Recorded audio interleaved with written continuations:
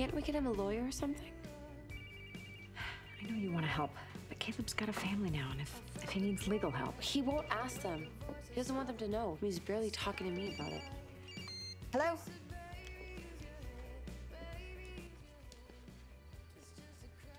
I come bearing fruit. Great. Something wrong? um, can we talk? Sure.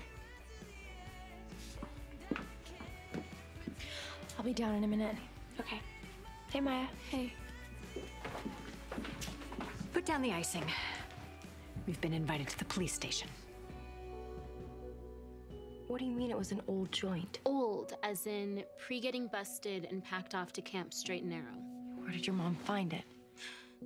We've been getting stuff out of storage. Boxes from when we lived in the DiLaurentis house. I even found a box of Ali's stuff. It was in junk from my dresser.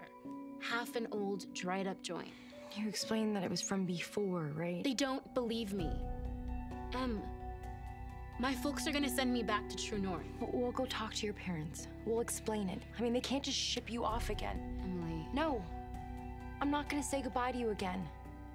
Never.